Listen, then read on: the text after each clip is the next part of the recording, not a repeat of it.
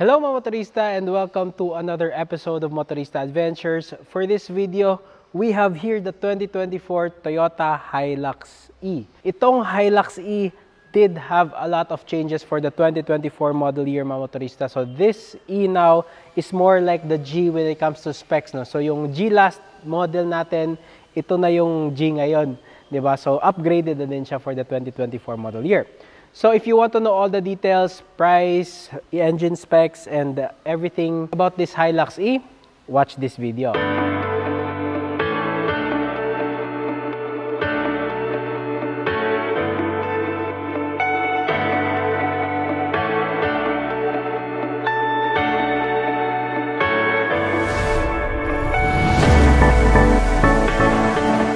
So, simulan natin sa price mga motorista. Itong 2024 Hilux E natin is priced at 1,306,000 pesos. And kung gusto mo yung automatic version, it will cost you around 1,386,000. So, ganyan yung difference nila when it comes to pricing. So, meron kang tatlong colors to choose from for the E model. Meron kang silver metallic, gray metallic, and Attitude Black Mica. And kung automatic variant naman yung kukunin mo, meron kang additional color option which is the Super White 2 which cannot be found if you want a manual transmission Hilux E. Ngayon naman, tingnan natin yung mga features sa ating 2024 Hilux E. As you might have noticed mga motorista, parehas lang sila sa Hilux G natin noon. So everything that you see here is straight from the Hilux G. So you have this A-type grille. This is, was, was the previous uh, front end no, sa mga E at G noon, still the same here. Um, we have your reflector headlights. No, unfortunately, if you want the projector LEDs, mga motorista, you have to go for the G model and not this E model. So you have uh, separate beam no, for the low beam and high beam. Um, turn signal lights natin is on the side, bulb type pa din siya, and park light natin. What's really nice is naka-LED fog lights na tayo, mga motorista noon. And um, sa pinaka-ilalim naman, we still have a steel skid plate. That's really cool. So, wala tayong advanced driver aids pa din for the E-model, of course.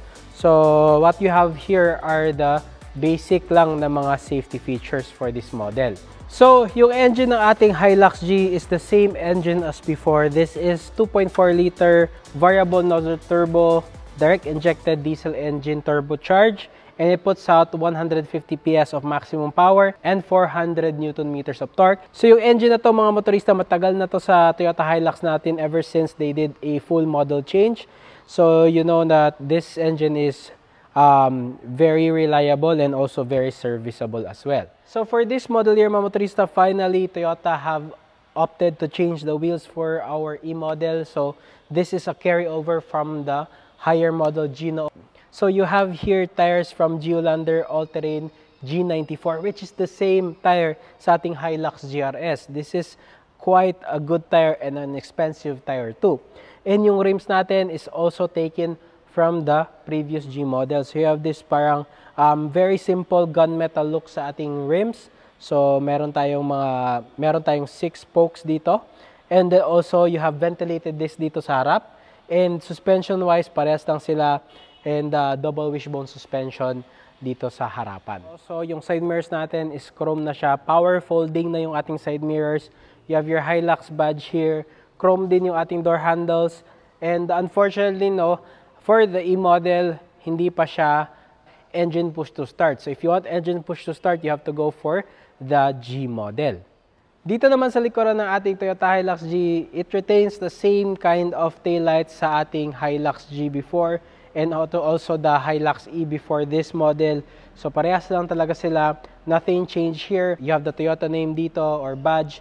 You have chrome handles na dito sa ating tailgate. And meron tayong reverse camera, high mount stoplight dito sa likuran. You have your Hilux na badge dito. Meron tayong E-model nakalagay. Meron din tayong dalawang reverse sensors here. Meron nakalagay Hilux sa ating stepboard dito sa likuran. Bubuksan naman natin, wala siyang tailgate assist. Medyo mabigat lang siya mamotorista yung ating tailgate kasi wala siyang assist. Meron tayong kasamang bedliner na din na standard for this model year. So ngayon naman, let's take a look at the changes sa interior. Tara, samahan niyo ako mamotorista.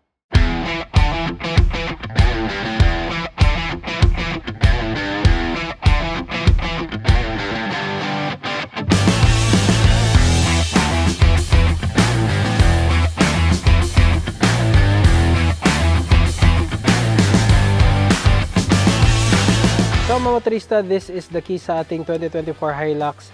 So, switchblade type siya. And then, meron tayong lock, alarm, and then unlock button dito sa ating e-model. Okay? And then here, basically, nothing changed mga motorista, no? It's just that meron tayong mga accents dito. Cloth pa din yung ating armrest. Again, power windows, power door locks, uh, meron tayong lock and unlock button, window lock button, automatic yung ating driver side ng window, manual toggles na lang sa mga passenger window natin. And then here you have your uh, bottle holders and also your speaker also. Height adjustable din yung ating driver seat and as you can see, same seats as before, cloth pa din tayo mga motorista with this white stitching. Right? And then yung ating steering wheel is not leather, ano lang siya, um, urethane siya mga motorista. And then you have your airbag here, you have your controls for the audio, and also yung navigation buttons natin for the screen right there. Okay, meron tayong pop-up cup holders, meron tayong access na silver dito sa ating mga air vents, So, meron tayong latches for the hood and the fuel. So, yun yung ating shifter. Tignan muna natin yung ating gauge. We are on eco mode. So, meron tayong mga modes din for the E, so meron ng eco and power modes. Ayan, so dyan mo siya ipipress no, on the bottom. Uh, tilt yung ating steering and also telescoping. Automatic din yung ating headlights, just like the Hilux G and uh, the current Hilux G also. You can see also dito sa ating air conditioning na this is already dual zone climate control no instead of having a manual climate control. That's really nice. Meron tayong mga blank here Um, yung isa for the four-wheel drive. Ayan. And then yung isa for our um, this is for the push to start button that's missing here. Um, by the way, yung stocks natin mga motorista is intermittent wiper siya. So right now mga motorista, you have the same screen as the Hilux G um, instead of the aftermarket one before. So meron na tayong mga volume knob here, you have your tuning knob, same interface, it is integrated system. Kita mo yung mga latest fuel consumption mo, yung audio natin, complete, no? Apple CarPlay, Android Auto na to mga motorista just like the Hilux G. And also, lahat ng connectivity na gusto mo sa Hilux G andito din sa ating Hilux E ngayon. So, like, uh, you have your trip information, meron tayong smart device link, okay? And then, phone, audio, and then you have your setup here. So, as you can see mga motorista, no? Meron siyang voice command, meron din siyang Wi-Fi. So lahat ng to is Android Auto and Apple CarPlay capable. Apple CarPlay and Android Auto siya capable. Pero you have to use this um, USB port mga motorista, hindi siya full wireless. No? So meron din tayong traction control button here, 12 volt accessory outlet dito. So, pasensya na, medyo madilim talaga mga motorista. Storage area dito. So, you have your transmission here. 6-speed manual mga motorista. Yung reverse natin is paharap. 1, 2, 3, 4, uh, 5, and 6th gear. So, eco and power modes are here. Traditional handbrake, cloth armrest pa din tayo. Okay, meron tayong dual glove compartment and meron na siyang air conditioning. And then dito sa ilalim, yan, it's also lockable. And also, yung speaker natin is now a 6 speaker setup here. I think the previous one didn't have 6 speaker uh, system. So, also a nice upgrade yan from the previous E-model. So, we are at the back of the Hilux G and there is ample space here. So, not the best space in the segment in my opinion, but it's still quite good yung space dito. So, you have your power windows here. So, basic lang talaga dito, no? So, meron din tayong cloth armrest, meron tayong hawakan dito, you have your um, grab handles dito. So, meron tayong mga hooks, no, 4 kilograms, and you have your pockets here. So, if you want rear air vents, kailangan mong mag-step up to the Conquest models to get one, but uh, from the G to the E models, no, unfortunately, wala pa tayong air vents.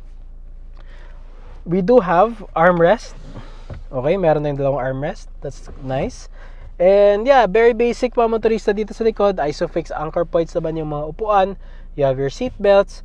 And uh, it's foldable, no? 60-40 yung ating uh, upuan dito sa likod.